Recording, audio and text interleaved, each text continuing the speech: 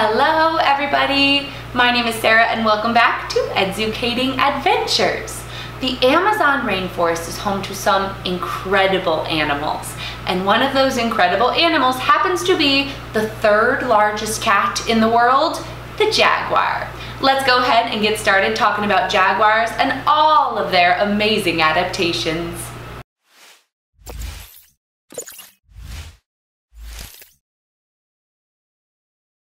Jaguars are a species of big cat and they're very closely related to other big cats like tigers, lions, leopards, and snow leopards.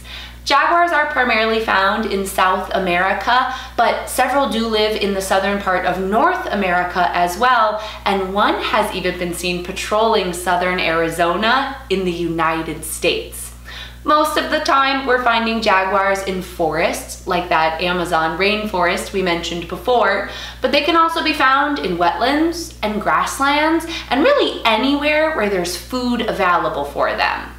We did say that jaguars are a species of big cat. They're actually the third largest cat in the world behind the tiger and the lion.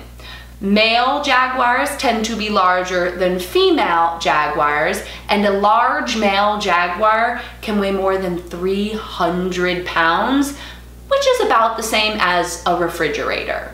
Jaguars are very well known for having that orange spotted coat.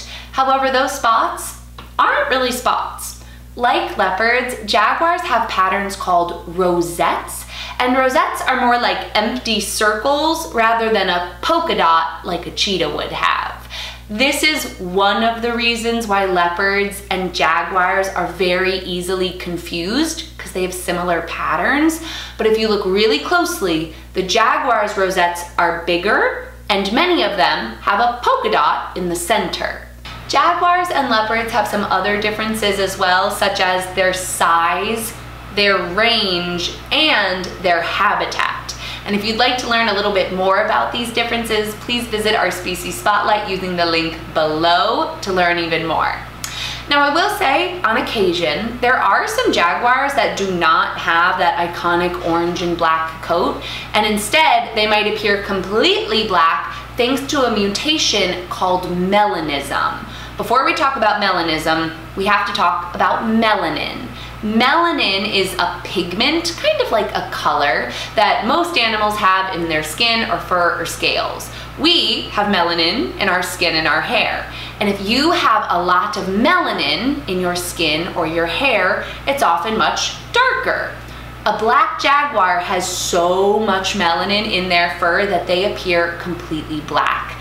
Leopards can also be melanistic, and we actually call a melanistic jaguar and a melanistic leopard, we call them the same thing. We call them a black panther. While some jaguars are melanistic, most are not. And they rely on their rosettes to give them great camouflage so that they can ambush or sneak attack their prey. Like all big cats, jaguars are carnivores, they are meat eaters, but they do take that one step further because not only are they predators, they are apex predators, which means they are at the tippy top of their food chain. They don't have any predators of their own.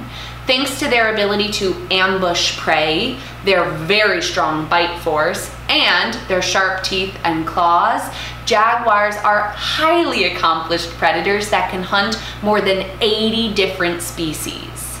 There is some pretty large animals among those 80 species that are prey for a jaguar. Some of their favorite foods are capybaras, giant anteaters, deer, and peccaries as well. We've even found evidence that jaguars have been able to hunt and kill American black bears. They do eat some medium-sized prey as well, like little rodents like agoutis, they eat iguanas, and they even eat birds.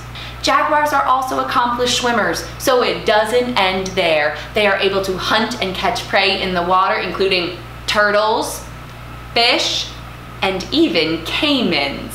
Whether they are hunting or resting, we typically find jaguars alone because they are solitary, which means they don't like to live in a group. And even more than that, jaguars are also territorial, which means they don't even want other jaguars anywhere in their space. Having a territory is really important for a jaguar because it means they get access to any food in their territory or any potential mates that might be around their territory. To let other jaguars know, hey, I live here, you better go away, they mark their territory with things like scratches and urine and poop scat. They'll even roar to signal to other jaguars, you better get out of here. Unfortunately for jaguars, the area that they have to build and establish these territories is getting smaller. And unfortunately, we are worried that jaguars could be threatened with extinction if we don't do something quick to protect them. One of the biggest threats that they're facing is deforestation and other types of habitat loss the areas that they used to live and call home, their territories, are being cleared, the forests are being cut down to create space for farmland. As their home disappears, they don't really have anywhere else to go, right? So they spread out into these new farmlands and they prey now on things like cows and sheep that ranchers have brought in. And the ranchers, they want to protect their cows and sheep. So sometimes they hunt jaguars to make sure that their cows and sheep aren't being preyed on. This is called human wildlife conflict and is a big problem with lots of different types of predators. Jaguars are also hunted or poached for things that are called trophies. Trophies would be things like their teeth, their claws, their pelts, just things that people think are cool. So the best way that you can help to protect jaguars and make sure they don't go extinct is don't buy any of these trophies and make sure that you don't support businesses that do buy or support those trophies. But really the best thing that you can do as an individual is you can do your part in stopping deforestation, to stop that habitat loss that's threatening jaguars. We can do things like use less paper or use recycled paper. We can also purchase sustainable palm oil and sustainably harvested fruits and vegetables. And those are the best ways that we can make sure that jaguars and all sorts of other rainforest animals are protected. All right, you guys, thank you so much for joining me today for our Jaguar lesson. If you would like to learn even more and take quizzes, do activities and projects, be sure to click that link to below to visit our website, and I can't wait to see you at our next adventure. Thank you very much.